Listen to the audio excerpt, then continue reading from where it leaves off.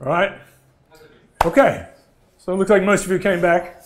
There wasn't a huge deletion of numbers from the um, the records online, but we'll see. we'll see. Uh, I want you to stay, of course. I understand you have choices to make, um, but I think you'll find this to be a lot of fun, especially as we get further into the course, as we get deeper in, um, and you move away a little bit from assignments to your projects. And I'll talk about some some things you don't have to you know do calculations for. So there's there's good stuff coming towards the end as well. All right, but we have some uh, solid things today. We have uh, manifesto, which I monologued myself out of giving yesterday, and then we have uh, scaling. So we're going to start on scaling. So it's a very rich, um, beautiful area of thinking, basically. And I have a few things here. Now, if I can get this to work, so the idea here, right, is I can write on this thing with the wireless magic stuff, and yeah, so that's good. So this is so for years I tried to concoct some sort of system where I could get a camera to connect to this and pipe it. It's madness. But anyway, so um, technology caught up. So we need a Pratchett update. I'm going to show you a Pratchett thing to start with. Cricket, obviously, if you want to talk about the cricket, we can talk about the cricket. So it looks like uh, India is thrashing Sri Lanka here. Um, very important. I do this only for my amusement. This is our ridiculous cat in the backyard. This is a rabbit that just walks straight in front of it. And the thing is, Pratchett is, uh, is there. This is like the most magical thing for a predator. And um, he's an indoor cat. We take him outside now. Look at him. What an idiot. It's like his eyes are truly lit up. This is the greatest moment. And fail. just, just, yeah. It's much easier to uh, stare at people until they get food out. Exactly what he does. You just turn around and the cat is staring at you, blink, blinking at you. Anyway, they communicate in interesting ways.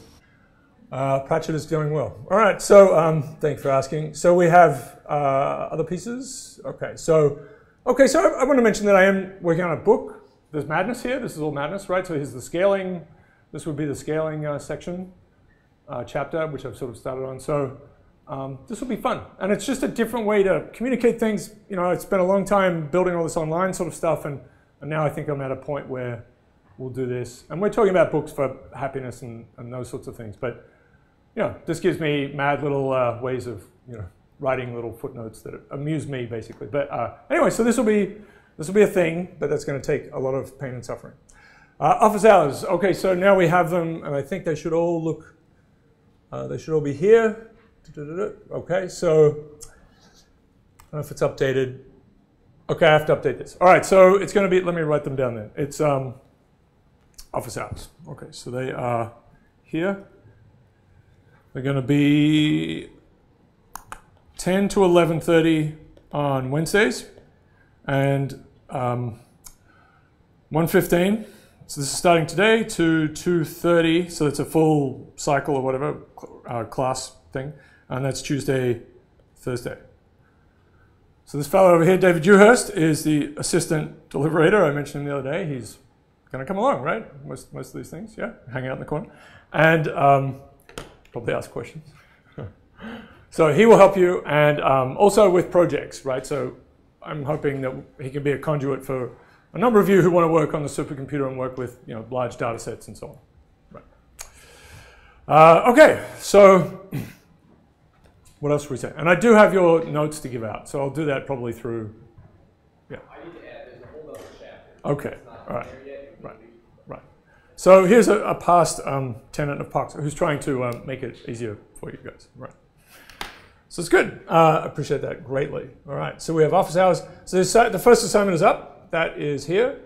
Uh, bizarre gardening accident. So, uh, and I, I, think I showed this to you as well. So I want you to look at these little notes here, right? So this is how you should submit it. If you're a graduate student, you should write in LaTeX, which will be interesting for some of you, but it's a good, you can talk to me about this if this is impossible and so on, but this is a good thing to do.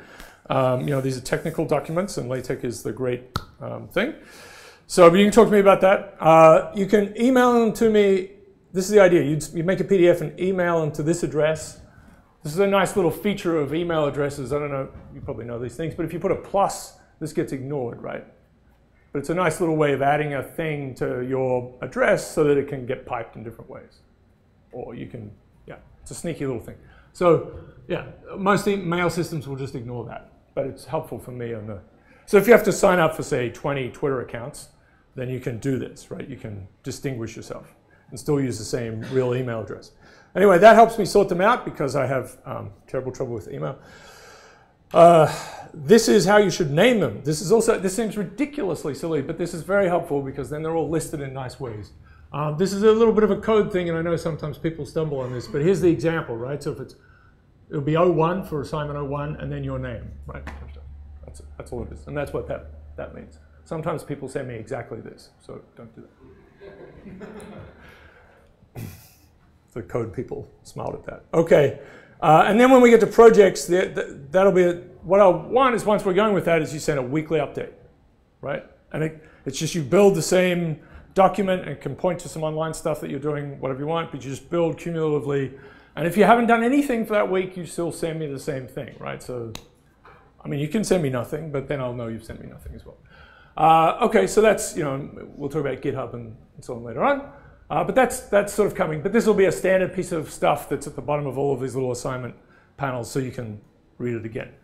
Uh, I think most of the assignments have a little bit of help at the start. Right, so if I recompile this, for example, the office hours will be sorted out. Okay, all right? And it tells you again what to do. Now, if you're just writing by hand, then you can scan it in some way. Scannable is a good scanner thing. Yeah? That's a. My wife's a journalist, and for some reason, at some point, she wrote about scanning things, and that, was, that's her advice. Scannable. Okay.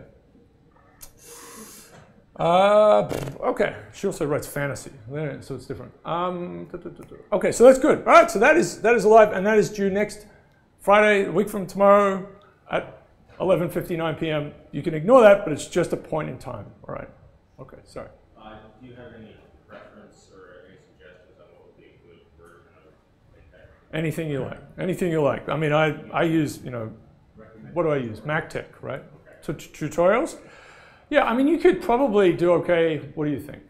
Overleaf? If, if you really don't want to set something from kind of machine you have, you should have a Linux machine. If you don't have one, Yeah. you don't have one. Um, if you do have a Linux machine, It's okay. you can, so if you have Windows, you can get MiKTeX, you can Microsoft You can just use Overleaf. Just over, Overleaf. Really can just use Overleaf. Go to overleaf.com. Does it require that you're connected to the internet? or is Yep. it- Mhm. I've had it, I've had it just shut down when I was. Yeah. Okay, so. I mean, the four necessities of life, right? Shelter, food, Wi-Fi is the, right, yeah. Maslow's, Maslow's pyramid has Wi-Fi at the bottom, yeah.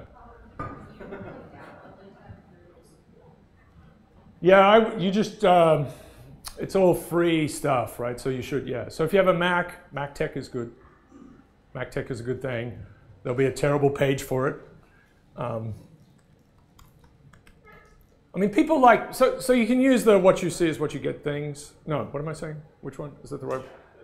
You know, that, that renders it for you and, and you kind of don't need to look at the details. I mean, of course, I, I'm insanely happy with the, I mean, I'd like, there is a very nice there's a nice thing to working with the underlying content, which is just, you know, like if you're writing HTML or something, which is a very sort of raw version of this, but LaTeX, you're, you're writing the content and you're not looking at the, the font that it you know, that it'll end up in. You're not worried about paragraphs. And in fact, you know, when you write in LaTeX, you should write, and I have a whole blog thing I can show you about this. Um, you should write a sentence and then you put a period, and then you should go boom and start a new line, right? Because that that starts to get your brain to think in terms of sentences. Like you don't try to make this pretty, because if you want to move them around, which is a sort of these are chunks, so you start to operate in a different way in terms of writing. Is what I'm saying. And then you have a thing, you press a button, and it makes the pretty thing over here. And you can make different kinds of pretty things, right? You can make different. You say, oh, I want it to look like. I mean, that's like this book, ridiculous book thing. You know, like I've spent a lot of time just saying, oh, you know, what if I, whatever, you know, like madness, right? Two columns, three columns, whatever you like, all sorts of bananas things. Um, but there's a so there is a deeply beneficial aspect to creating. It takes it takes it separates the design part, not entirely, but it separates it a long way up. Yeah. And it's actually, you know, sometimes for focus, it's good to have two things that you're working on, right? And some a lot of people that's TV or something, but uh, or YouTube, I guess. Uh, but you can kind of shift back between these two modes, and it's sort of good. It depends on your focus ability. MacTeX, it's it's going to be Mac, MacTeX. Wow. So computer scientists tend to pride themselves on having terrible web pages, right? That's you know, if you look at a professor's page in computer science, it they've sort of switched from a default of a gray background from 1992 to now most of them seem to be white, but I think that's forced upon them by the by the browsers. But it's very simple. I don't know. I don't know why. I don't know why. Uh, anyway, so there you go. And it's just a big. There really ultimately is a big button that you push. There it is. Yeah. It's good. It's a good thing. Good thing to learn. Fear and loathing, maybe. Overleaf means you can just do it in a browser, right? You just it doesn't matter what you use. Yeah. If it crashes and goes away, then you're in a lot of trouble. It's an interesting product. It's become, of course, you have to pay for it too. So, yeah. I mean, the, the ridiculous now with academic product, um, you know, what we do is we basically make everything, right? We, we do everything. We own the means of production. We like produce the final product for these journals, and then for some reason, give everything away and review for free. Anyway, all right. Sorry. I'm sick of it. Uh, okay, so we're back over here. We've got assignment. Uh, okay, now it's just okay. I think that's good, and we're going to talk about um, pieces. Okay, manifesto. So this is a short little piece just to set things up, and then we'll get to scaling, which is super fun. Okay. Right. Okay, good. Okay, good work. So uh, yeah, the ways it work is uh, we'll have um, just a little background here on what I would call the golden, what I call the golden age of reductionism. So I am making these things up, but uh, th this is sort of, in a sense, the natural uh, project um, way science kind of had to unfold. And uh, manifesto is this piece now about where we are in terms of most sciences, actually, really. Okay, so it's a nice, it's a good word. So, so I'll come back to some other examples later on, but complex is a good, solid word. It means something that most people are happy with, right? And has a nice kind of origin in folding and weaving. Um, network has another interesting kind of origin. We'll get to that later on. Um, but it does ultimately come from spiderweb. But systems are bigger and more general, so complex. So this is a, this is a not a bad thing. So uh, there's a little piece that we often sort of have to talk about at the start that people would like to sort of distinguish between complicated and um, complex. So complicated would give me something you can completely understand, like a watch, right? So someone could fix it and make it, an old school watch, not like with actual gears and things. Uh, and to some extent, you know, old kinds of cars and airplanes, I mean, these were complicated devices, but you could get your whole brain around one and fix one up if you were really into these sorts of things.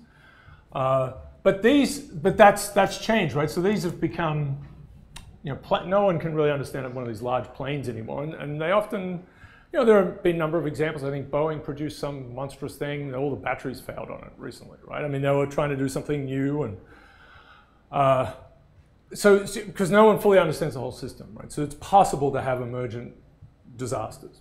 Um, okay, so we'll get to this later. This is the highly optimized tolerance uh, story, we can get to these systems that are made very well, but they don't adapt, right? They can be quite good, but uh, at producing something. Um, and, and, this is what I was trying to say here. Like, so the power grid is sort of this great example I mentioned the other day that it, there's a, we've been hooking up all these grids uh, across the world uh, for all sorts of reasons, not just you know purely functional ones. Uh, and, and we've made something that's pretty amazing, right? We can distribute power in great ways and uh, now we're sort of putting in renewables in, a, in, an interesting way, so that's an interesting kind of complication to think about. It's not a steady supply. Uh, but we can also have these enormous failures. And, and, you know, the power grid, no one has a map of the whole power grid for the US, which is kind of ridiculous, right? And a lot of people actually work on po the Polish um, power grid because we have that data set. And even there, it's hard to actually simulate everything. You'd think we should be able to simulate that, but actually that's kind of difficult. Okay, so they go fail spectacularly, right? And some people will talk about this too, complex adaptive systems. To, but I'm not going to do that, actually. I'm just going to stay with complex systems because I want to include things like fluids and anything, right? Yes, Peter. Would comparison be like an old school mechanical watch with gears versus a new school yeah. Yeah. And cars are the same way, right? So you could have someone who could pull a car apart and they could fix it up, and they, yeah, but not, not necessarily modules and things. If things explode, who knows, right? You know, it used to be somewhat the same way with computers. You could, right, make put them together to some extent, you know, and and then Macs kind of appeared as Macs was sort of one of the first ones where you just couldn't, you can't take it apart, right? Yeah. And then like phones, right? They're completely sealed objects. Who knows? All right, so uh, this is just a little bit of you know people sort of. It's, it's, funny how people get tied up about this. So this is this is a while ago for on the Wikipedia, right? So which of course is an evolving uh, object itself, but um, it's, it's, trying. So here the, the distinction we're trying to talk about complexity science, and what I want to say is complex systems are the thing, right? So they're the thing. Yes, absolutely, these exist, and they have all these sort of interesting properties, and there's enough. Um, kind of overlap in the way we analyze them and the kinds of signals and behaviors they produce that we can you know, talk across disciplines. All right, so there's this sort of thing pointing out there's no one great theory, which is fine. And in fact, if you go into particle physics and you talk about grand unified theory, you know, if we had that, it still wouldn't help, right? It's not going to explain, you know, platypuses, right? It's just not going to help because that's a, a weird thing that happened. Um, you know, you can't just use that set of equations to predict DNA. That, we'll get to that much later.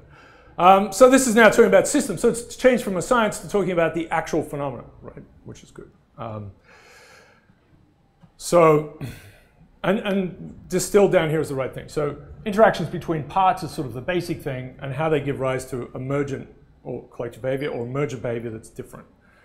That's, a, that's sort of the, the key thing. Uh, this is from one of these books I pointed to, right? There's no universally accepted definition. So people sort of, you know, they complain and, and so on. And, and here's Philip Ball, uh, who's this amazing writer. Um, and, you know, distilled it pretty well there, right? So uh, looking at how systems produce behaviors that aren't in their, obviously in their individual components. So this is just a definition I'm going to give you. So it's a distributed system, many interrelated parts, right? And it could be, it doesn't have to be a network. Networks are you know, a big part of many, many systems, but it's not everything. Uh, and there's no centralized control, right? Or, or, there's some limited degree of centralized control. There might be some. And there's emergent behavior, right? So there's, um, there's uh, some behavior of the whole that's not at all present in any of the individual parts. So, uh, you know, the degree to which we can go from the, the, the micro to the macro, you know, that's a huge challenge. And we've been able to do it with a lot of physical systems, like you know, the, uh, everything in thermodynamics and fluid mechanics, that we can start from small things and build up stories for the large ones, which is amazing. Uh, but as we get to things like life, biology, and social phenomena and economic phenomena, we get a little more into algorithmic stuff, and that maybe limits our ability to do things. We might be able to model it quite well, but we might not be able to say, oh, here's a simple story. There are other things that might be sitting there, nonlinear relationships between these individuals. It doesn't have to be that, that way. Um, you know, feedback loops, these sort of naturally emerge in, in network structures. Um, this kind of idea that, that these systems are open, right, that there's energy flowing in and out. Uh, memory, of course, is a very important thing. That's, you know, these could be made, these, these could all just sort of manifest out of simple kinds of network structures, but making them explicit is important. This is often what we see for a lot of systems, uh, and this has come out of a lot of the network science stuff, is that there's a lot of modular hierarchical structure, right? Not perfect hierarchies at all, uh, but that's a hugely difficult problem. And I, I think I mentioned the other day, this is the, you know, this is this effort to try and find uh, communities or structures within some enormous, enormous uh, system that, you know, you can't just look at, right? You can't plot the network on a, on a wall. You can't do that for so many of these things. All right. And then this, this transition from physical mechanisms to algorithmic ones. Uh, and a lot of, in, uh, you know, a very important part of all of this, not, it's not there, I suppose, is randomness, right? Randomness is a very important precursor to uh, structure. I'll come back to that. Scribble things. Complex systems, right? Lots of things. So everything is interesting. As I said, power grids, weather systems, you know, there are lots of fun little ones, ant colonies. I mean, we've seen, I mean, amongst many terrible things that happened with uh, Hurricane Harvey, right? There've been uh, videos of the fire ants. not good guys, right? You do not want, right? You don't want to be bitten by a fire ant, right? They're not. So they're coming up from South America, and they tend to be. Um, so they do this thing. If water comes in, they will join together and float around in huge clumps and survive, right? One by themselves will will die, but somehow they, you know, evolution has produced this kind of mechanism in them that says, okay, we're going to hook onto each other. It's very disturbing, not a good thing. And they rotate around, so sometimes they spend time underwater and they survive. Uh, anyway, okay. Um, as usual with tragedies, lots of great, beautiful stories of people saving each other. So, you know, that's interesting to watch. We see that with tragedies with our hedonic stuff, right? Bad thing happens, and then you see all these attempts to. Okay, lots of systems. Maybe you work on some of all these fields are in right. This is the point, right? All of these fields have moved to being uh, to to kind of acknowledging that they are talking about big systems and that they can. And the reason we didn't really talk about them was because we couldn't measure things well, right? So people were able to, um, you know, stay with these simple models. And when you have an absence of data, you have a flourishing of theory, right? You can see this. You can see this in physics. You go back in physics. I mean, people had all sorts of stories for, and even just thinking about how you know how the solar system works and how the stars work, right? So we we had some strange ideas about. Um, uh, circular orbits that persisted for thousands of years. We're pretty happy about that, right? Uh, and you could get into a lot of trouble with the church if you talked about ellipses. So uh, that, that took a long time to sort out. Um, actually, I, I came across, I don't know how, all right, so I don't know how valid but there's a survey that I came across the other day, was, which apparently a quarter of people in the US, it was a Gallup poll, I think, said that this they got the sun rotating around the Earth thing wrong, right? You, you had to, your question was, does the sun rotate around the Earth or does the Earth rotate around the sun? You know, A or B. So, but I think in Europe it was worse. It was more like a third of people got it wrong. okay, um, so this is an effort by uh, uh, who is this? This is again, this is uh, Brian Castelli, Castellani. So if you're interested in sort of some of the history of this, you can go. He's tried to connect everything together. So as I was trying to say before, it's complex and complex systems, it's a good term, right? It's a good word. These are some of the other terms you go back. So, all right, systems theory is fine. Cybernetics, which is, this was really had a lot of very, very bright people trying to work on this. And this was this idea that, you know, you could control social systems and, and uh, biological, it, it, that, that's where they were going. A lot of people who understood control quite well. So Norbert Wiener is an incredibly famous character, uh, right? The Wiener process, uh, who's at MIT, brilliant guy. So, you know, there's all of this, but he's trying to loop everything in here, right? So artificial intelligence is here. We've got cellular automata genetic algorithms. So this is an interesting thing to kind of ponder. Networks starts here. And so this is, you know, for me, this is where I kind of I came into existence. And Duncan Watts and I worked together for a long time. Talk about Duncan's later work later on. But he's here, Strogatz. So we'll, we'll get to that later on. But this is this was a this was a point in time that made things much harder, much more um, analytically tractable, right? There was a lot of mathematical work you could do, um, but, but it, was, it was because of data. Okay, good. All right, so that's just a little bit about the, the words, I suppose, but and some history. But let's now talk about just the path of science in a brief way. So Democritus, so this is a long time ago, came up with this idea that the matter is made out of all these little distinguishable atoms, right? So just sort of, you know, as I want to do, sort of wander around and, uh, and claim this was true. And so this is where atom comes from, right? It's un, uncuttable, right? You cannot cut it. So Plato wasn't happy, uh, did, said he wanted everything burned. Um, and you know, people thought this was nuts, right? I mean, look at water, right? You're going to tell me this is all little bits that somehow make this nice wet thing? I mean, right? You think of all sorts of emergent properties just in physical systems, like wetness, right? If you have a little H2O molecule sitting there and you look at it, it's not obvious that wetness comes out of that, right? It's just, that would be hard to get to, right? Let alone, you know, tornadoes. Okay, so, uh, all right, so there's some time passes. And then we start to see uh, chemists and so on who are getting towards this atomic theory. They weren't exactly saying that things were made up of small pieces, but it was starting to emerge in this way. And the periodic table appears, and you know, this is a this is a, an enormous time. But this takes about 300 years, really. Uh, and this is, to me, sort of. I mean, when I sort of went back and, and, and sort of discovered this is a very surprising thing. Okay, so Boltzmann, very famous guy in physics. he he believed believed right. He believed that atoms were underlying everything, and he you know from those from that assumption was able to derive uh, gas laws and so on. But the people around him, and he, so he was German, and his German colleagues in particular thought he was this was nuts. You know, so Ernst Mach, right? So Mach one, Mach two, thought they, this was bananas. And uh, around 1900, you you could right. So this is 1904. Most physicists seem to reject the idea that atoms existed. It's 1904, right? So we're only just only just woken up basically. Um, and he, he was stuck in a section called Applied Math at this conference, was very disappointing. And he got very upset and he talked about um, Darwin and yeah, he's not happy. Um, he was actually kind of excited about Lamarck, which I guess if he'd waited long enough, we'd get back to epigenetics and maybe he would be happy. Anyway, so uh, he died, you know, he, well, I mean, he, he, his end of his life was not great. He died um, tragically. Uh, so, but just a few years later, we get this, right? So, so Einstein had a pretty good year in 1905. So he has five remarkable papers that are quite different in nature. And one of them was about Brownian motion, which we'll get to because it is a glorious, beautiful thing. Uh, and it, it's, it's a kind of a great emergence sort of story. You've got all these little things bumping around and they produce uh, Gaussian distributions, right? That's, that's a really awesome thing, actually.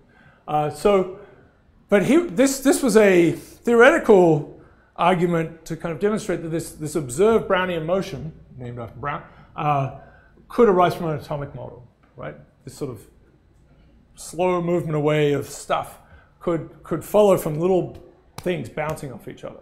So it's like, well, you know, this actually could work, right? So that's 1905, and then there's a, um, a experimental work that really verifies it, and everyone says, okay, atoms exist.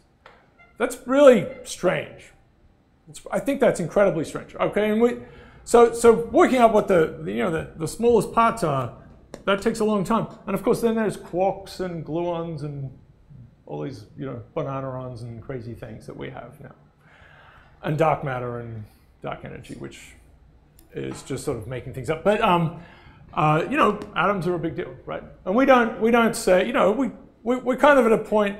So I'll talk about nutrition a little bit because it's an interesting you know, emergence of taste, right, and the emergence of, you know, a healthiness of a food or whatever from all these constituent parts. I mean, the way we are now is we, we have ingredients on the side, right, and I'll tell you how many carbohydrates and fats and so on. When it's broken down.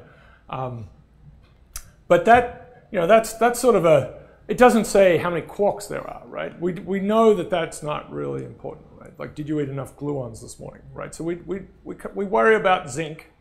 It's like zinc is a thing, but we're not worried about the insides of zinc. Yeah.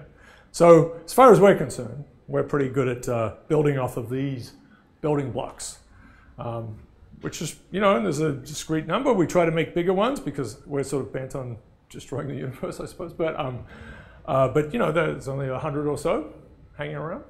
Pretty amazing, right?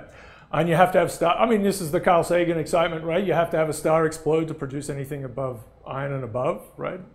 So that's kind of amazing. So a lot of the things sitting inside you had to come from something going bang in a very, very big way, uh, because otherwise it would never have been made. Uh, that's, that's remarkable, right? Very strange. Okay, so there is a, and, and there is the big history story that uh, has been, so Bill Gates is supportive of this, and, and in some ways we'll sort of touch, I've been touching on this for years, I suppose, but there is the sort of the arc of the universe, right? So you know, what's the probability that it happens this way, and so on and so on and so on. Very interesting problem. Why does anything exist? It's a good question. Okay, so let's see. So Feynman, so it's Feynman who's incredibly uh, smart guy, to say the least, um, and you know, acerbic, I suppose, as well. But um, uh, so his his so here's the thing. You know, he was a big thinker, and he would certainly put his thoughts out there, and his lectures are amazing. But if he had to pass on one sentence, essentially, uh, one, one statement, what would it be? And it would be this, right? That the things are made of atoms. Like this is the most, if you had to start again, right? Just took us a long time to really agree about that, but just say this is true. Okay. Okay, it's longer than that. So, right, attracting each other, and when they are um, just little just repelling and being squeezed, right? These very strange things, very strange things. Okay. All right. Okay, so that would that would kickstart you at least in the in the science world. All right. So let's have a manifesto. So this is just one page. I had to distill this. So systems are everywhere, right? And they matter. I mean, you can just think about the systems you are part of, uh, if you want to, from a selfish point of view, but we're, we're all sitting in them. Um, and so much of science has to inevitably be about systems. And we had to go through these, this time of getting to the smallest parts, right? We can't discover new, there's not an atom between hydrogen and helium. There just isn't, right? We've got, we've collected those stamps. And you know, understanding how these things fit together is, is really then the greater part of science because this is going to go on for a long, long time. And as I said, we've had this sort of 300 years of figuring things out. Uh, subatomic particles after atoms, DNA, right? That was a that was a, a, huge win, right, for understanding what's going on. I mean, now we have this code story for us, which is bananas, crazy, right? Crazy.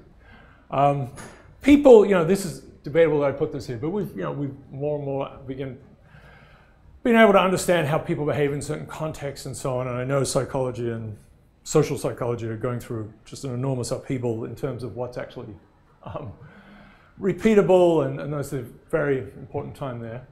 Um, so understanding creating systems, because we can actually, of course, make them, and we do, uh, and we can make them purposefully, we can make them accidentally. That's the greater part of science. Um, you know, and we, we're definitely in the age of making black boxes that do things for us. So we've definitely sort of slipped into, you know, and we have plenty of stories around about Skynet or something. You know, we're kind of worried, right, that it could tip in a bad direction for us. So, you know, science fiction actually is usually pretty good about looking at the possible ways things can go. So this is a huge deal, universality, and we'll come back to this. Uh, we'll touch on this again and again. So and, and, the example I gave the other day is fluids, right? So honey and milk and the Earth's um, mantle and the atmosphere and the ocean. You know, these Navier-Stokes equations are all applicable, right? They all work. We don't have, you know, we change the parameters and we may have to, you know, drop some terms off and so on, but, but there's sort of this one, you know, set of equations to rule them all, which is pretty amazing. That doesn't describe, you know, economics or da da da. Um, However, very strangely, there is a there was fluid-based computing that was even still being used up into the 80s to predict things like the um, economic uh, future in the UK. The, I think it's called the MONIAC. It's an extraordinary machine, but it would do essentially partial differential equations by moving fluids around. Very strange. Um, that turned out not to be the. We could have laptops with water in them. so, but you know, all of this stuff that we did before, I mean, obviously lots of experiments and so on, but a lot of the thinking that came way back here is, is pencil and paper stuff. Fluid mechanics is pencil and paper stuff. What's happening now, and in the last, um, since the great era of you know, the 1980s, um, I mean, it's funny, right? I, so I'm a 1980s person, and it was very quiet in retrospect, right? There's no internet, there's no nothing, right? You just, you would go home and silence. But computers existed and things were coming. And because of those beasts, which have become you know, better and better and eventually will win, uh, I suppose, but they are allowing us to do this kind of the science that we need to do. And it's, it is messy and it's hard, um, but it enables us, you know, measurement comes from lots of different ways, but we, we're allowed to, you know, we can now store all this data in, in very easy, shareable kinds of ways. Uh, and uh, and of course, we can simulate things. So this is a difficult business, but it's certainly done very effectively for the weather, for you know all sorts of um, systems that we care about. You know how how cities will grow, how you know we're, we do all sorts of things where we're modeling based on data and uh, simple, you know, so, sort of simple projections of the world. But you know, it's a tough business. Okay, all right, but that's where we are, and it's possible we can do these things. It's not clear what would have happened, and it couldn't have happened. But if we had computers first, I'm not sure what we would have come up with. But um, yeah, yeah, a lot of the old work, of course, is is there because of pencil and paperness. Yeah. Okay, so that's it. So that's a manifesto. That's good. Um, I'm not gonna. That's just madness. I don't think I'll show you that right now, unless you feel like you need a cleanse. Let's, um, okay, so that's just some drum to say let's do it. It's good. The shovel is there to suggest you should just get on with it and grab a shovel. That's what that's about. Okay, so that's a lot of generalness, but I want to start to try and talk about some things that are pervasive across systems. And so the first thing will be scaling. Okay. So we're going to talk about a bunch of pieces here. Uh, allometry, which is this idea of uh, things scaling non-linearly with respect to each other. I'll give you examples in biology, physics. Cities has become a big piece in the last 10 years. That work has been a big deal in the last 10 years. This is just one slide on money. Uh, some interesting scale, very powerful, interesting scaling in language and technology, Moore's law. Okay, good. Okay, so I had these up, yeah. All right, so, so the story is that um, there are many systems where you have lots of, so there's, there's a lot, um, there are many scales involved, and there can be temporal scales, right? Can run over lots of um, short times and long times, and then uh, many spatial scales as well. So they can cross it, and it could be that there's systems composed of many components, right? So it could be an ecological system. So you have many, you have tiny organisms, you know, nematodes and then mice and all sorts of things, right? And shrews, shrews are good little guys, uh, and uh, you know, elephants at one end. And so they're vastly different in size.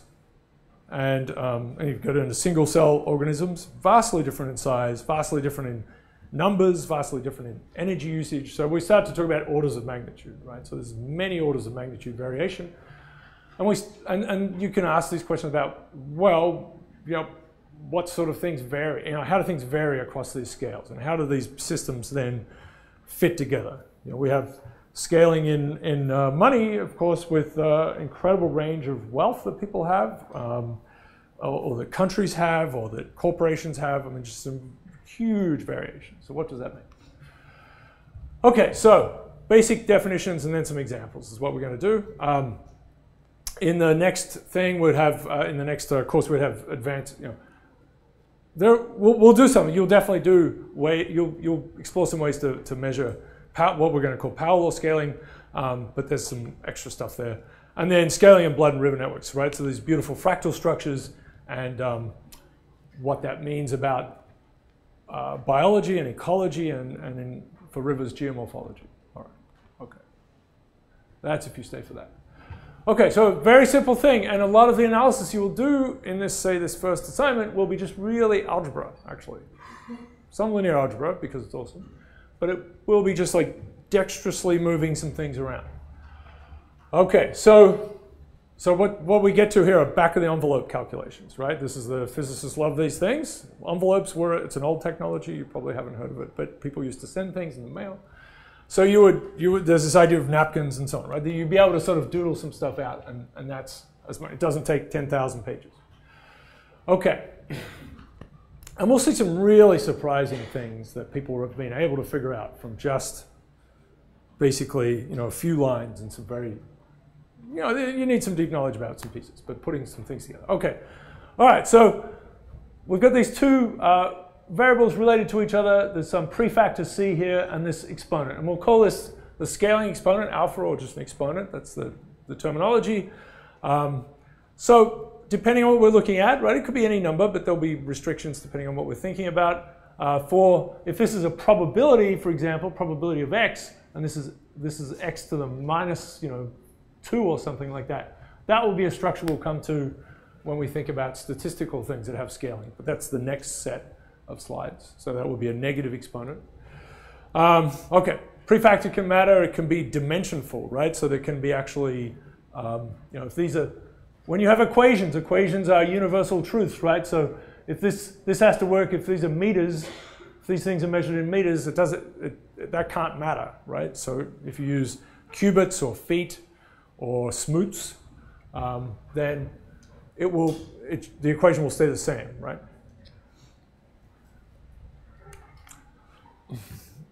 the side, the smoot. Does anyone know what a smoot is?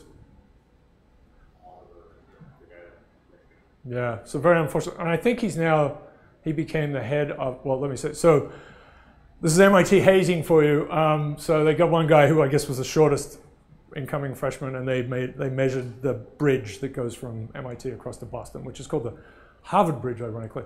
Um, and so you can see it, and they mark it out, and it's so many smoots plus an ear or something. I think he became head of like the standards and measurement stuff for the government. Is that right? Yeah, in a beautiful, you know, creation of someone's career. Um, I don't think hazing usually works that way. Okay. Uh, yeah. So um, but, you- but if you type it into Google, if you say, you know, three meters in smoots, it will do it for you. Yeah. Thank you, Google. Okay, so uh, dimensions. So this is what I was trying to say. So they must uh, um, you know, match up in some way. So if this is, say, a height, length, and volume v, maybe we have some objects that aren't scaling what, and I'll use these words again, isometrically, right? So if it was isometric, this would be v to the one third because volume scales as L cubed normally, right? So if we had a bunch of spheres of different um, sizes and they get bigger and bigger, then, right, so the, the um, volume for a sphere is 4 thirds pi r cubed, right? So it's scaling as the linear dimension of the sphere uh, to the power of 3. So if we inverted that, we'd expect to see a third. So, but some things don't do this, and we'll see there's like nails and trees and so on for various mechanical reasons do not actually do that. So this is just a little symbol to say dimension. So this, if this is the dimension of C, this, this prefactor, then it has to be the dimension of L divided by the dimension of this V to the one quarter. And so dimension of, well, it's, this, this, is not, this is now just to say length, right? It's length. Dimension of volume is L cubed, so it's L3 to the fourth. So this thing has to have a dimension built into it. There has to be some, there's something in that C. So that's a bit of a, a thing to worry about. It's a little bit of a side piece, but we'll come back to it. Uh, there's a beautiful, beautiful theorem, the Buckingham pi theorem. It's not really pi pi, it's just called pi, but it's not pi pi. It's a different pi. It just means sort of p. So we'll get to that. It's a beautiful thing. Um, but it's, it's about this idea that uh, equations can't depend on, universal truths cannot depend on uh, what you measure your um, variables in. We'll get to that. Okay, so a big deal for these things is uh, logarithms, right? So if we take this character, and if you remember your logarithms, we're going to take log base b of both sides. So log b of y, log b of this blob. Well, we get log b of c. Because we have a product, we can break them apart. So it'll be log b of x to the alpha here, log b of c. And because we have an alpha here, we can bring it down the front. This is logarithm goodness. Yes. Okay. And this turns out to be the right plan for a lot of these things because now, if we if we if we compare if we have a bunch of data points, for example, and we have our y's and x's, uh, then this is now a linear relationship between log log b uh, log log y and log x. So that's good. We're pretty good at measuring straight lines or you know fitting straight lines. Now, how, of course, I've said that, and that, it turns out that is a hairy business as well. But but it seems like we're in a in a better better game, right? So this actually turns out to be a lot of arguing about how you how you fit straight lines, but that's okay. We'll get to that. So least squares is the the story, and of course, there's a beautiful way to do that in matrixology. Um, but there are other other approaches to that. Okay, so now we've just we'd be looking for a straight line, right? So uh, so there's much messing around because logs tend to wash things out as well. People get a little carried away and they say, "Oh, I have a power law," you know, and that. So you you have to be a little bit careful here, right? Very careful. Uh, so this is an important thing. I know some of you will be math people and you will think this has to be the natural log, but log base 10. This is just we're humans. This is just where we are. It's sort of an agreed upon thing. So um, just the way it is whatever you do, you must explicitly state it. So that slips out of people's uh, grasp a little bit too, but uh, it, it, needs to be clear. So when we talk about orders of magnitude, we're talking about base 10. That's a, so we can communicate with other humans, such as engineers, people who use sound, for example, decibels. Okay, so powers of 10. Or Carl Sagan, if he was still here. Okay, so let's, let's, let's go through a, a as yeah, I mean the, the, the, title is the right thing. This is a glorious, just re remarkable, surprising, beautiful example. And so gray matter volume for brains. So obviously something very bad has happened to a number of uh, animals. Um, we can talk about that. But white matter volume here, they donated themselves to science. So uh, this way, gray matter is the thinky bits, and this is the connecty bits. Is sort of roughly, this is my profound understanding of brains. Um, but that's sort of the story. And so, you know, this is the wiring and this is the, right, the chips over here. So how much, you know, that's a sort of a basic question. You've got brains, you've got lots of different organisms. What's the architecture of these things? Okay, so it turns out that, you know, sort of a very simple idea of that might be, well, you could think naively that maybe these just scale linearly together, right? So you, you double the amount of thinky bits and maybe you double the wiring, right? I do apologize. But look at this. Uh, this is this is, so this is log this is log 10 here, right? And you can just as a sort of a matter of note, you can put you could plot this as manifestly log 10, right? So it could be log 10 here, and then you'd have 0, 1, 2, 3. I actually like doing that, but um, that's okay. And so what have we got? We've got uh, eight orders of magnitude here, at least on the plot. I guess it goes from about here to maybe so six orders, six orders of magnitude there, and maybe five this way. That's a lot. And so as a rule of thumb, which I'll plot, uh, I'll show again on another slide, three orders of magnitude in both directions is good, right? Then you, if you present a, if you show someone your plot and they see three orders of magnitude, three orders of magnitude there, and you've got a nice line through it, and then you do some other statistics, they'll be like, okay, that's, that's good. You're not trying to sell me something here. So, but people do. Uh, okay, so what have we got? All sorts of things. So shrews are very small, so we and uh, I guess pretty easy to catch. So there are lots of shrews down here, uh, and hedgehog, hedgehog. And uh, then we get up to rabbits, which maybe Pratchett didn't get that one, but um, and then elephants and pilot whales are right out here. So this seems like these do seem like measurable things. Another very important thing you want to measure for organisms is basal metabolic rate, and that's a coconuts thing. But you know, how much energy do these organisms use, and then how many of them are, and you know, uh, is this system working, right? Because all this energy is going into it. That turns out to be a very interesting, controversial, difficult thing. But anyway, you can look at this just by eye. This looks pretty good. This line through this thing. And there's a, you know, a, correlation coefficient here of 0.998. Looks really solid. There's some subtleties to it. Uh, and the fit, you know, and you can, as we've talked about, you can obtain these fits in different ways, but it's uh, this 1.23, here's alpha, right? Plus or minus 0.01. And here's our C, or, well, or log 10 of C, I should say. So that's the exponent. So it's not one, it's not linear, it's superlinear right? So, this, so the amount of white matter is, is growing superlinearly. Right, so what's going on? So there's more wiring, right? You have more think, you've doubled your thinking bits, but you've had to increase the wiring at a, at a faster rate. And is that, you know, and there's another question which I don't think is quite addressed here is, is that just to sort of make it function at all, or is it because there's sort of some evolutionary gain, or, you know, but it seems like there's not a lot of variation here, right? There aren't any organisms you know, really sitting off of this with a lot more wiring or a lot less wiring. So it seems to be just part of the game. And another piece in here, because we're always get excited about ourselves, is um, people, right? We're not special in this regard. We do have pretty big noggins, relatively, for our size. Um, we're also slow and all sorts of things, but um, anyway, we're in charge. So, um, okay, so this is Terry Sejnowski beautiful thing. This is from 2000 and Proceedings of Nat, uh, um, uh, the, Nat the, National Academy of Sciences, which the joke is always this is post nature and science, or probably not accepted at science. Okay, so. and the other knock on this is it's a, it's a bit of an old, I mean, traditionally I would say old boys, but it's an old scientist club now, right? Which is, uh, you know, you're part of the team and you get your papers published in there. It's a little, little bit shady, but anyway.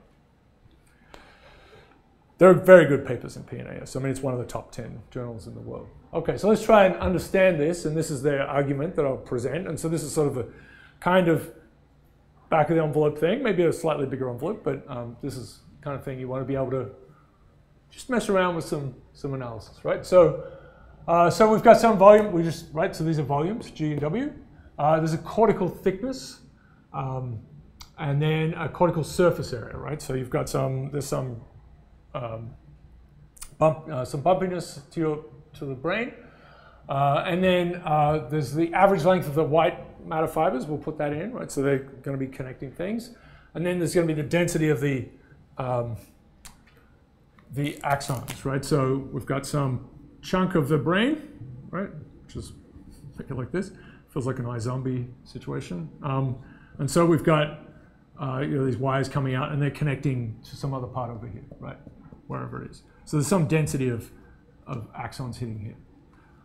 And do we have a thing? And then there's a typical length of these, right? So you sort of imagine a brain, it's got all these wires in between it, right? Brain. All right?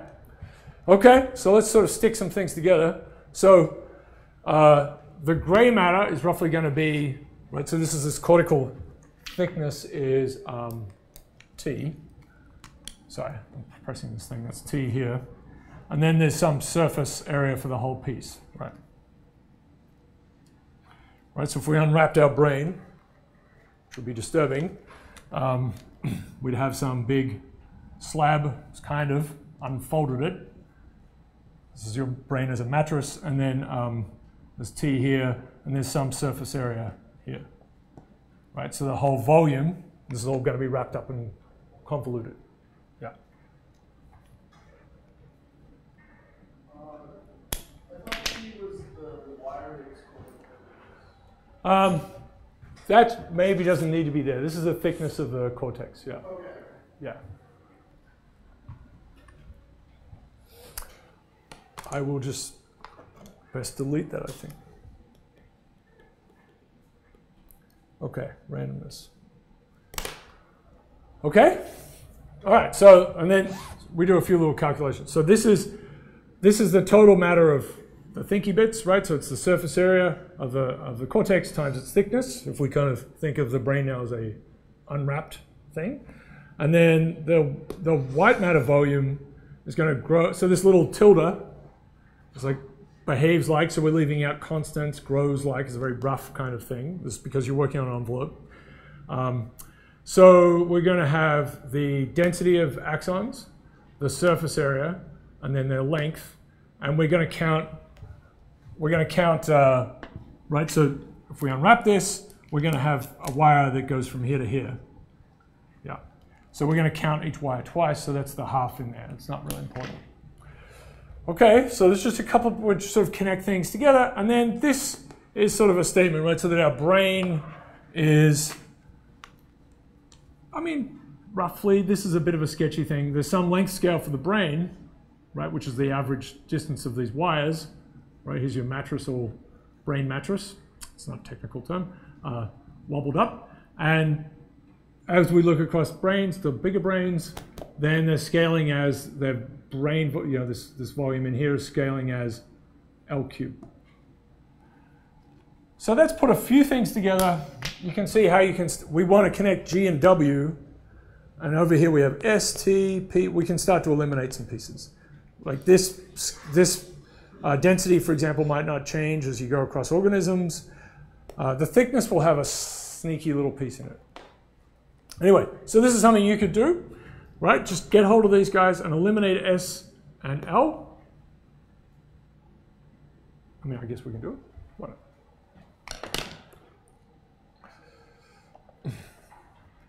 Let's see if this works.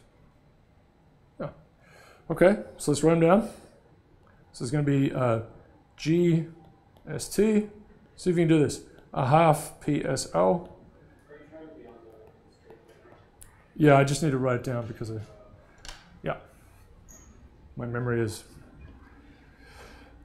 compromised. Okay, so um, so we could use these to get rid of uh, S, for example. I'm still going to attack this in different ways. I'm not going to tell you there's a.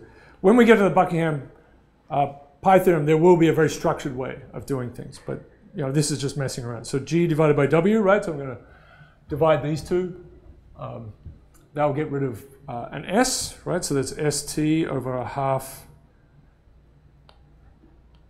Tell me if this doesn't work very well, but it's a half P uh, SL, right? So we've got these guys are going to go away. Right, so it's T over a half L. And then we have this piece, right? So we can turn that around.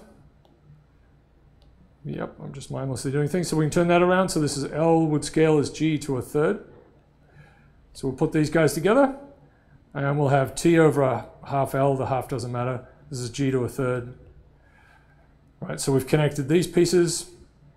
This is exactly what happens. It's a messy envelope situation. So now we've got G, uh, I'll bring that up. There'll be, um, well, G to the one, G to the third, scaling as, I'll just get rid of the, the half, it doesn't matter, TW, right?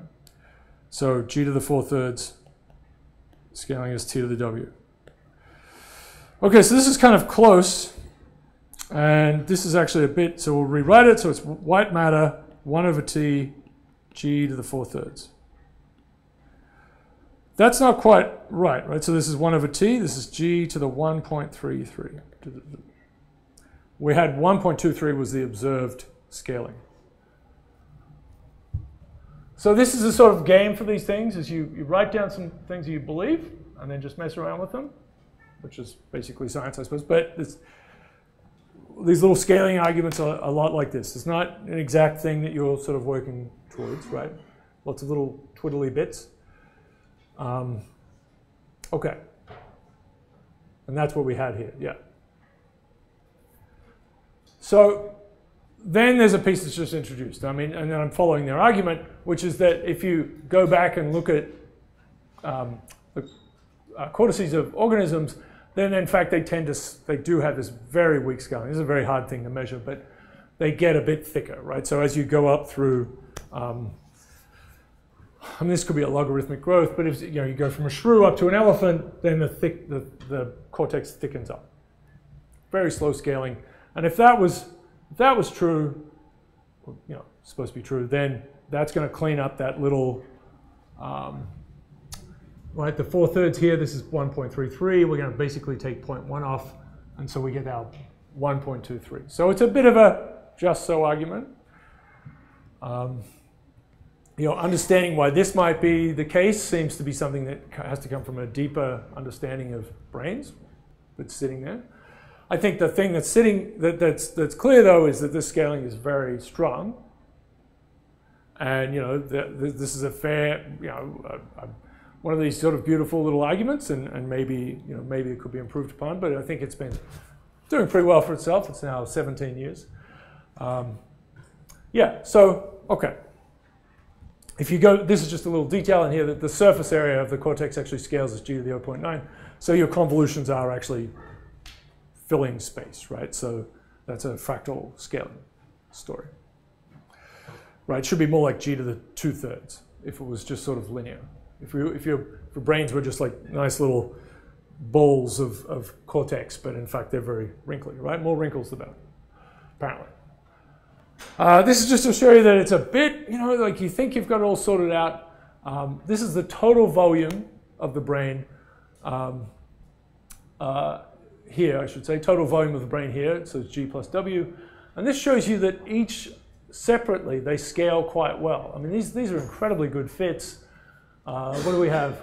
That the total volume is scaling as, oh sorry, the, the gray matter, that's up here, this bit. Gray matter is um, scaling as, that's the exponent really is here, 0.95. And then white matter is scaling a little bit faster. But this doesn't, so this, the problem with this, if you think about it, doesn't really yeah, so some of these parallels can't be quite right. It's okay. But if they acknowledge that, they put it in there, it's good. Tricksiness, okay. So, as I said, all right, so that's it. So again, a little argument, beautiful example, um, and you know, these, these sorts of patterns appear over and over again, and I'll show you some more examples as we go along. I'm not going to get to it. Okay. Okay. So, so that's what I was, what I was before, before I just want to have this down. Down is that is that uh, I call it three orders of magnitude variable of good scale. You know, how do you test for that? So that's a problem, right? So you can say, all right, well, I just sort of want to test for this part of the variable and this part. You know, do, you know, does my exponent change much if I census the data in a certain way? Uh, so this is a, so we'll come back to Bettencourt stuff because it is great actually. But this is a, this Louis Bettencourt was at Santa Fe Institute, now he's in Chicago. Uh, this was an inaugural, uh, the first piece by uh, him and a, a, team looking at the scaling of city uh, aspects of, of cities um, with city size, not a density, but just city size.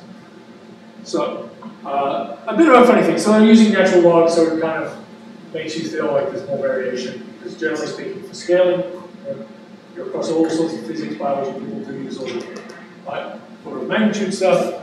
This is a very, this is the exponent here, 0.093. That's incredibly weak. And what this is, is walking speed.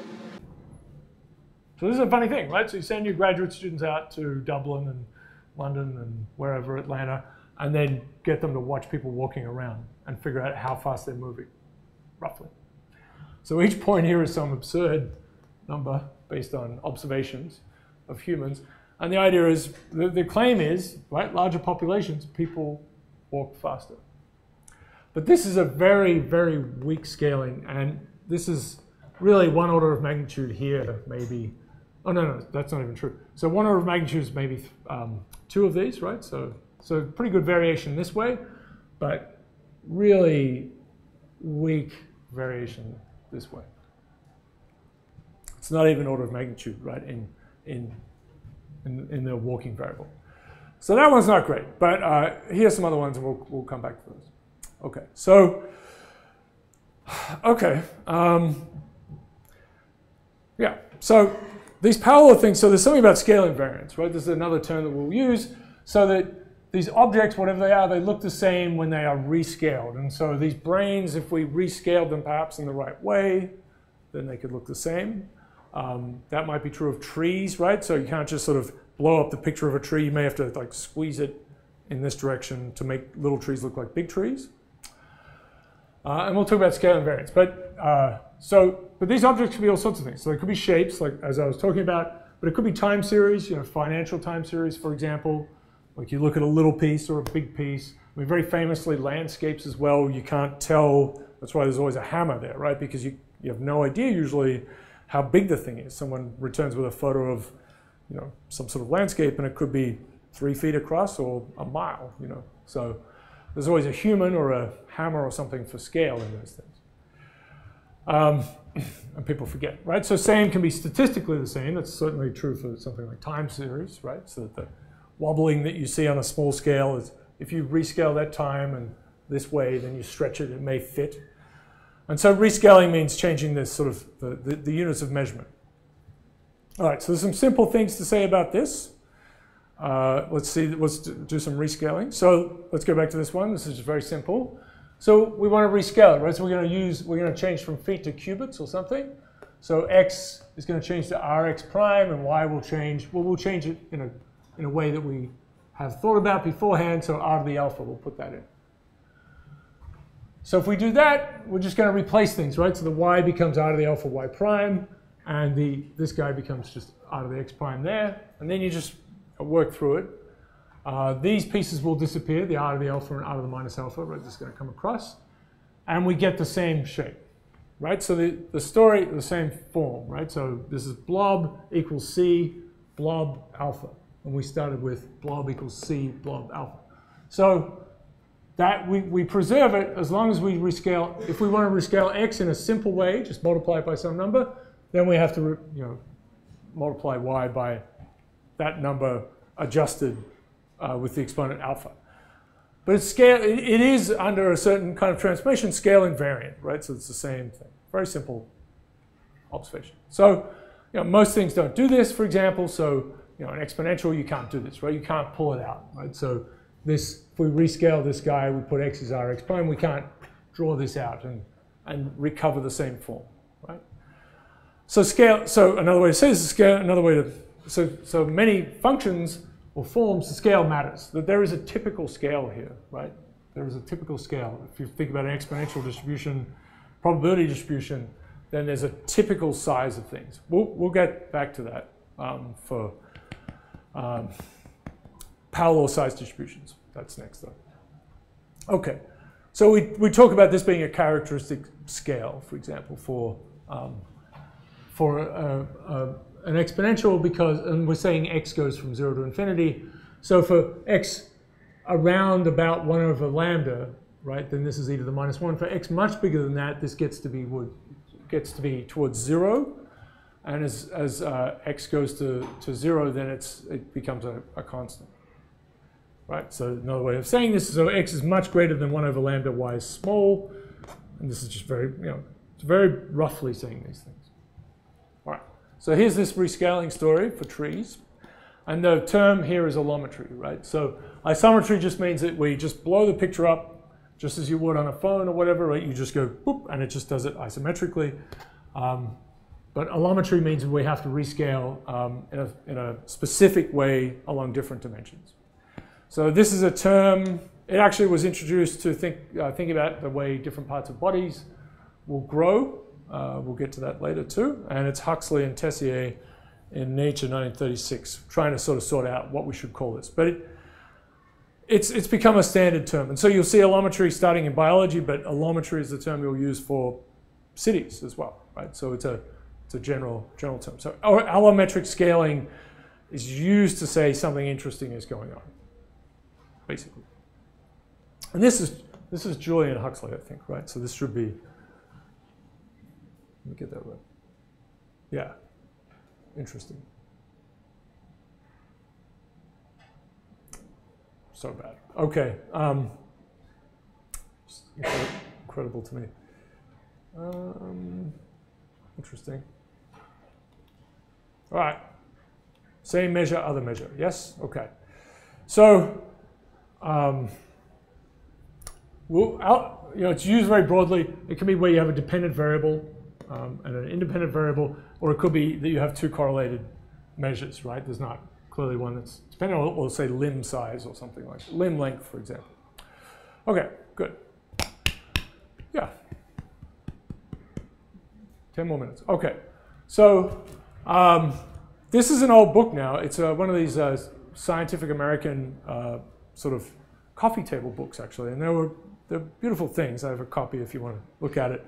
But you'd, you'd set it there, and it has equations and things like that, and beautiful pictures um, but McMahon and Bonner. So this is a just a, a, a, piece just in general about what happens as you go across um, different scales for organism what, and what that means.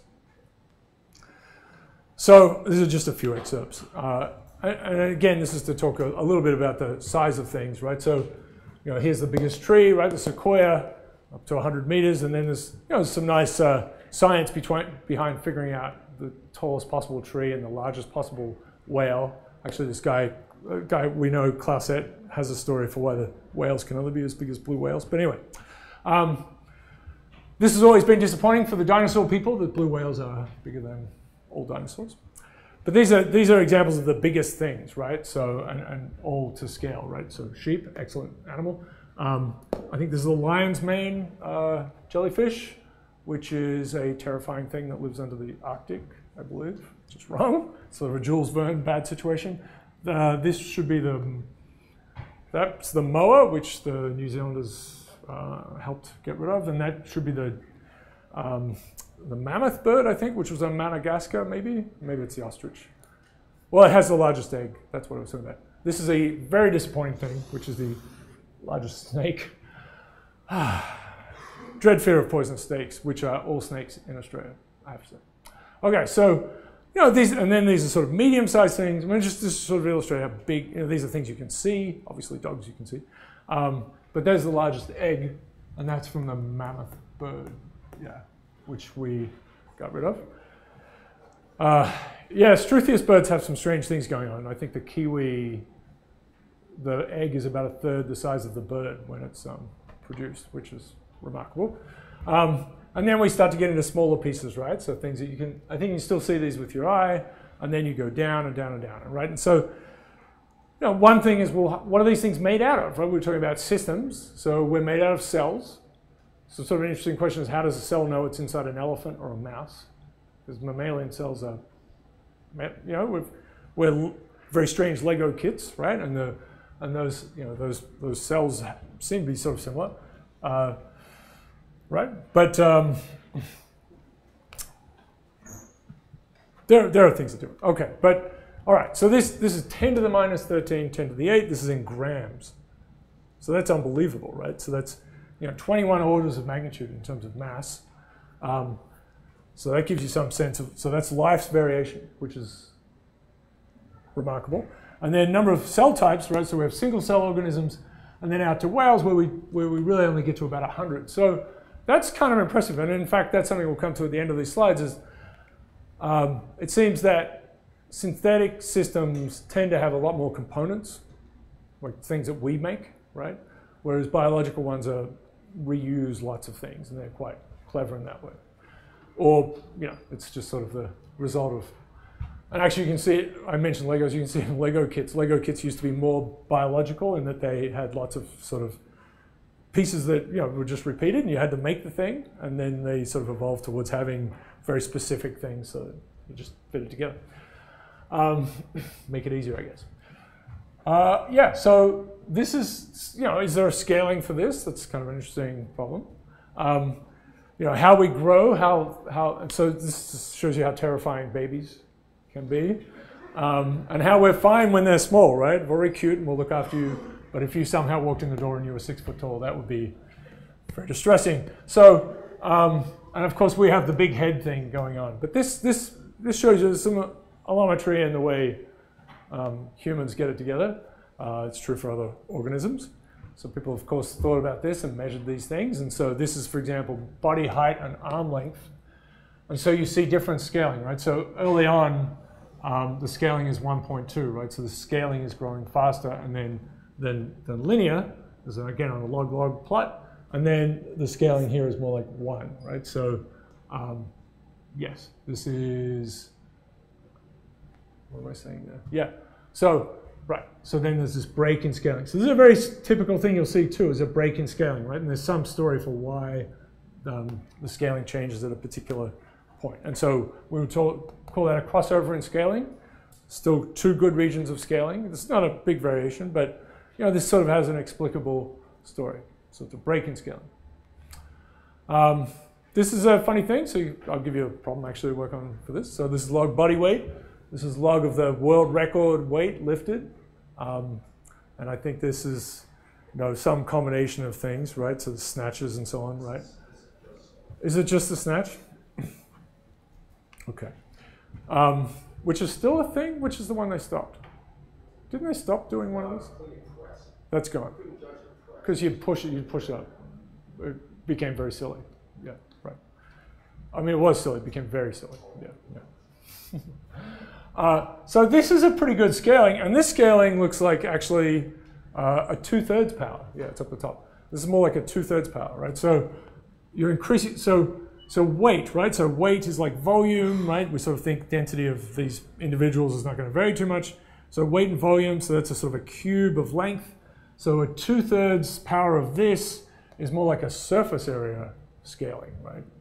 So the argument here is that it's a surface, but it's the cross-section of the, these individuals, right? That they're getting bigger, but their cross-section is, as they get bigger, their cross-section grows with their weight as a power of two thirds, and that seems to connect with the maximum weight. What's that? What are the numbers on the dots? These should be Is the, that the weight lifted or the weight? I think that's the um, body weight of the actual, right. So, so it's a bit funny, right? Because this is in log, this must be kilograms, that's, that's not right, is it? Because that would be 100 there. Hmm. hmm. We'll look it up. Doesn't seem right. It seems like a pounds, but it seems like they if they if they done that, that's weird.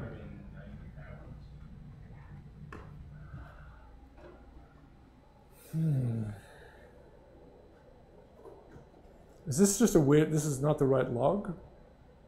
Is that what it is? All right, we'll look it up. That's good. Logs. Hmm. Yeah, because they've done this on this now. I've forgotten what they were trying to get to here. But if you look at this, you'll see that this one is doing a little bit better, right? According to the fit. So we'll see a similar thing for cities. So you can look at crime rates, and then you can look at which, you can look at the residuals, which is how far away you are from the best fit, and you can look at which cities are above or below, right? So it's a way of, say, comparing New York City to Burlington, because you say, you know, you don't just scale up. You, know, you look at how, how, say, crime rate typically grows across many, many cities, and you don't just simply say, I have a city that's twice as big, I expect twice as much crime. Because you start to say, okay, well, it actually does sort of seem to scale superlinearly. Like, that is a thing. And then you can say, oh, there's, there's variation around it, you know, which cities are doing better or worse as a function of their size. That would be an interesting plot. right? Crazy things. Okay, so this is like horn size, for example, right? As a function of um, length of skull. Very, and you know, again, it's sort of a, a funny little argument, sort of power of four. Um, these are mechanical ones. This is something I would teach more, more in the next semester, and I'll stop in a second. This is the a shrew. These are little things, right? Two or three grams, something like that. They're not big. And then you're getting up to thousands of kilograms for the elephant. This is the elephant shrew, which is not sure what it's doing. Um, but this is a profound, uh, well, I think it is, but I mean, it's been something that we've argued about for hundreds, over 150 years now, scientists in general. It's the basal, basal metabolic rate. So you're sitting there resting, how much energy do you use? Just sitting down. There's also how fast can you go? Um, and that's a great thing. I have to add that. That's super interesting. I have that, uh, well, sorry, that's in these slides, but then there's a really cool thing about that too. Um, max speed. So the simple argument is you might think, I'll just finish with this, but you might think, um, what's next? Okay, so you might think uh, this is two thirds. And the reason for that is if you're just sitting there, you're losing heat. This is why people can find you in the night. I hope this, you know, with the infrared things, or at least they do on TV, right? With the, you know, where the warm bodies are, sort of thing. It's because we get off heat, right? Black body radiation. And um, so there's a heat loss that's happening all the time. We also, as humans, we perspire and, and so on. And different organisms lose, you know, if they're working hard, they'll lose heat in different ways. But if you're just sitting down, you're losing heat to the environment. Um, so you might think that's a surface area thing. Surface area will scale as volume to the two-thirds. This two-thirds thing again. So you might think, you know, mass volume, two-thirds, that should be the thing, because you kind of have to balance that loss just to hang out. I mean, it's kind of remarkable how little wattage our brains run on, like 20 to 30 watts, which is nuts, right? That's a very dim light bulb. Like literally, we are dim light bulbs. Um, and, um, you know, we we make supercomputers beat us at Go, but they are just giant machines. So, uh, okay, so it turns out that people had started to think, maybe in the 20s and 30s, that that exponent was three quarters. And so this became this great enigma. Um, anyway, so this is sort of a joke version, but um, it turns out that this is not really true, and it's two. Th this is a very messy business. We can come back to that. If you like, if you're interested in biology and ecology, I'll talk to you about it. Um, all right, one last piece and then we'll go on because it sort of finishes biology actually, I think. Oh, I want to show you that.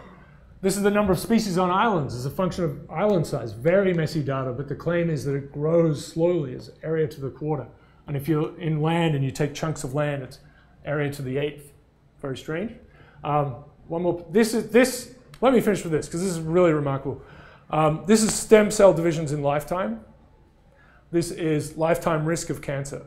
And so we have different things here. So there's lung for non-smokers and then lung for smokers, right? So, you know, risk does go up and this is, you know, uh, that's two orders of magnitude here.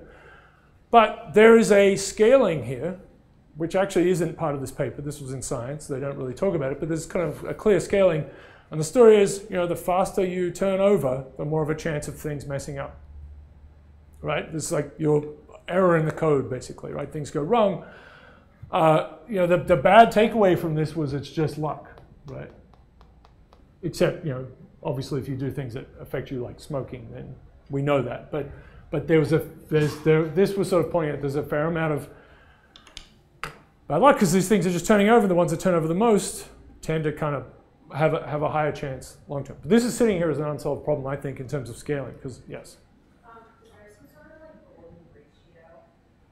For these things? There are all sorts of things, actually. There are all sorts of things. Golden ratios appear in beautiful ways, for sure, and a lot of natural things, but um, exponents, well, we'll see. We'll see some origins of exponents. We'll see some origins of exponents. Yeah, yeah. There are some like that, but yeah, yeah. No, there, there are all sorts of weird reasons for them to be around. But there's a big general story of scaling, which is what we're starting on. I may push the assignment back because I talk too much. Um, you know, this is just a, just a little bit of an, an introduction to it. We'll, more examples, and then we'll get into power-law size distributions, which is something no one understands very well. Okay, all right, thank you.